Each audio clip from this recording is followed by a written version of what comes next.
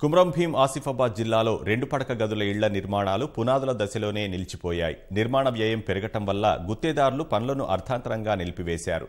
పక్కా ఇళ్ళు వస్తాయని ఆశపడ్డ పేదలకు సొంత గూడు చిరకాల వాచగానే మిగిలిపోతోంది. నిర్మాణాలు మొదలై నాలుగేళ్ళు గడుస్తున్నా చేసిన పనులకే బిల్లులు రావడం లేదని నిర్మాణ వ్యయం అమాంతం పెరిగిపోయినందున గిట్టుబాటు కాదని పనులు నిలిపివేశారు.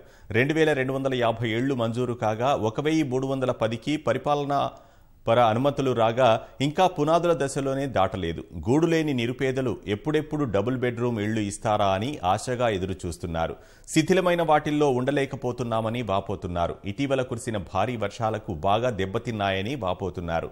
దాదాపు పదివేల మంది సొంతిళ్ళ కోసం కళ్ళల్లో ఒత్తుళ్ళు పెట్టుకొని ఎదురుచూస్తున్నారు. కొన్ని మండలాల్లో ఒప్పందాలు చేసుకున్న గుత్తేదారులు మొహం చాటేయడంతో నిర్మాణాల భవితవ్యం సందిగ్ధంలో పడింది. పరిస్థితి ఏం మంచిగా లేదు. లే భర్త చనిపోయిండు. పరిస్థితి కొడుకునైతే గొలుసులతో కట్టేసి ఉన్నది. ఇక నాకైతే ఆ ఇల్లు లేదు నాకు. పరిస్థితి మంచిగా లేదు. ఎవరు ఇట్లా ఆదుకునే వాళ్ళు లేరు. ఏం చేయాలి? ఆ ఇల్లు కావాలని కోరుకుంటానా.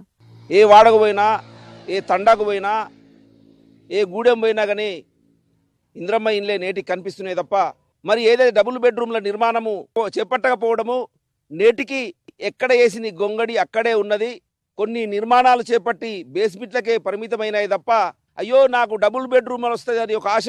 కొమరం భీం జిల్లాలో ఉన్నటువంటి ప్రజలు కానీ బతుకుతున్నారు